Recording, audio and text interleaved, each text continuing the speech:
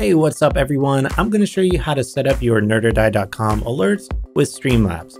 And I'm going to show you in this video with the Synthwave alerts, but I want to let you know this process is going to be exactly the same for all of our alert packs. So just follow this guide and you'll be good to go. So with it downloaded and unzipped, all you need to do is go into the Streamlabs folder and then just double click the link here and it'll open up in a browser and begin the import process.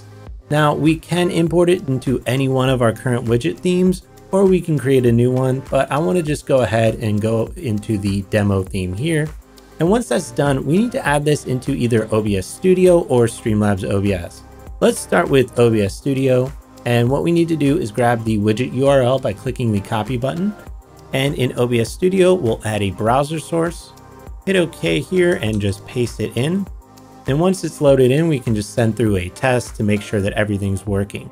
Now, really quickly, what you might notice is that it's very close to the sides here. What we can do is go back into the source and adjust the width and height to something a bit larger.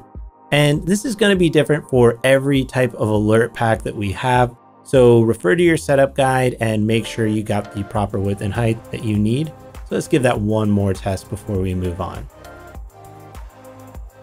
So with OBS Studio covered, let's take a look at Streamlabs OBS. All we need to do in Streamlabs OBS is go into it and hit the plus here and add in an alert box. Once that's added in, we'll hit add source and then we can even test it right up here. So let's go ahead and throw it through a test subscription and we'll see it come through and everything's looking pretty great. But like our other one in OBS Studio, it's pretty close to the edges. And down here, if we had something like a message, we'd probably see some clipping. So to go ahead and fix that, we'll just increase the width and height and send through another test subscription and make sure everything's working just fine. And we can see it's working in here as well. And that pretty much covers everything that you need to know with your alerts for Nerd or Die. If you're using something like XSplit, you'll be able to add in a browser source and paste in your widget URL, just like you did with OBS Studio.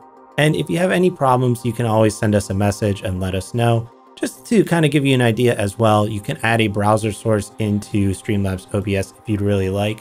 There's really no big advantage to it other than you can specify the URL.